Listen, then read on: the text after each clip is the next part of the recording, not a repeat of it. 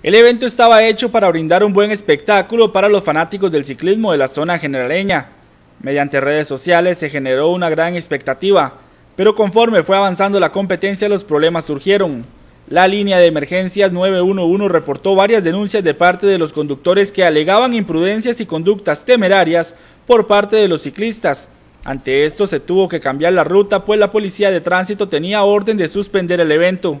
Era un evento bastante bonito, pero como siempre faltan personas incómodas y sobre todo pues conductores que se sienten incómodos al ver a personas practicando el ciclismo, sobre todo porque lo practicamos en carreteras, en rutas abiertas, pero al tener una zona urbana aquí en Pérez León, entre Pérez León y Palmares, pues consideramos que es una zona segura para nosotros, ya que las velocidades máximas son de 40 km por hora y por lo cual yo creo que se puede, es apta para practicar el ciclismo, pero hay, como le dije, hay conductores que se incomodan por eso, sobre todo en un domingo, y hoy tuvimos un inconveniente y pues la carrera tuvo que perder su, calidad, digámoslo así, porque tuvimos que estar casi parados y después seguir otra vez.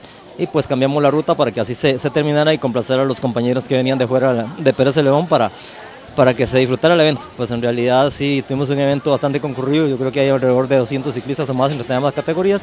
De paso, uno de los hombres experimentados del ciclismo de la zona como Juan de Dios Castillo le envió un mensaje a esos conductores que presentaron las denuncias. Pues sí, Noel, pues en realidad más que todo agradecer a cada uno de esos compañeros conductores, ya que se me considero uno de ellos, ya que mi trabajo depende de eso. Pues lógicamente que nunca vean una bicicleta, sino que vean un ser humano. Que recuerden siempre que antes de ser conductor es primero el ser humano. Recuerde que siempre el más fuerte tiene que cuidar al más débil y no en viceversa. Y pues que en lo posible, recordemos siempre que como seres humanos todos merecemos respeto y en las carreteras pues con más razón. Muchas gracias a todos aquellos conductores que cumplen esa norma y pedirle un favor a aquellos, aquellos que, que no lo han podido cumplir, pues al menos que se se esfuercen y recuerden que todos tenemos familia y que a todos los espera en casa. A nivel competitivo, los ciclistas resaltaron el alto nivel de la actividad. La actividad muy bonita, eh, una actividad que, que, año a año crece y, y bueno, este año un poco más calurosa que el año pasado. Agradecido con Dios, con la gente que nos apoya. Hoy un nuevo triunfo.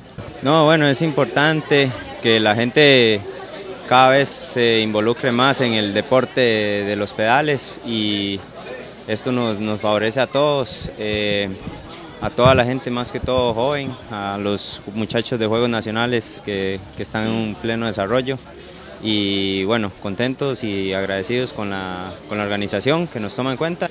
Desde que salimos, ya que salimos con élites, eh, los élites salieron a un ritmo muy fuerte. Entonces ya lo que, lo que siempre hice fue aguantar, ya que iba solo, digamos. Solo soy yo de corredores, el otro muchacho se quedó.